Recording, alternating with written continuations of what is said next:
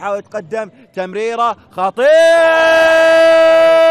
في شباك السالمية واتى بأول أهداف اللقاء لديفيد مورا.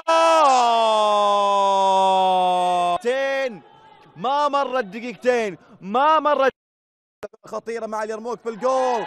الله بعد لعبة جميلة وممتازة من علي السيف. محاولة تصويب. جول. أو من العلبان تسديدة. ولم جميلة جميلة جميلة جميلة. الله الله الله. عن نقله في الشباك سجل.